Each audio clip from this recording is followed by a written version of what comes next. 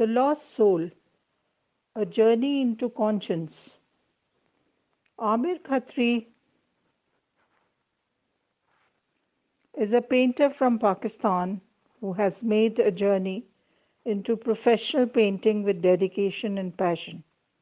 He is a painter of social thinking, stoking our minds, stoking a fire to think, question our surroundings, look into the souls of people.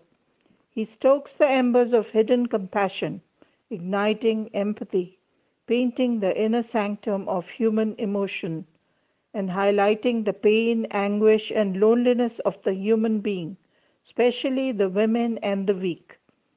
In his new series, The Lost Soul, he makes a journey into our conscience where he forces the audience to look into the inner souls of the older people that we think we have left behind.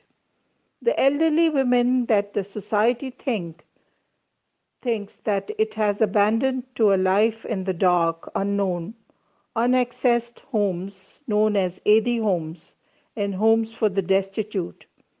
His paintings make us look deep inside our own souls. He shows us the mirror that it is we ourselves that we have abandoned to be lonely.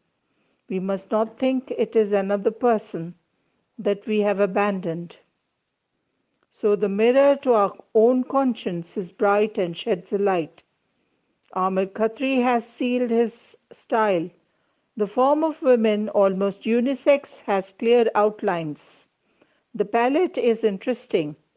The faces show white outlines reflecting purity of soul.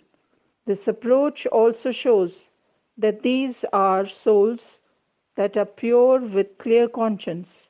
Many painters have used dark palette and forms to reflect ang- anguish of a person.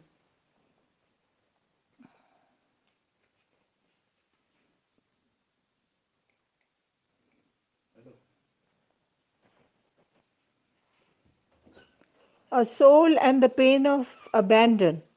A prominent example is the scream, but Aamir uses the forms almost like the Aztec of South American ancient forms. It gives the paintings almost universal timelessness. He's a poet too, and his paintings are poetry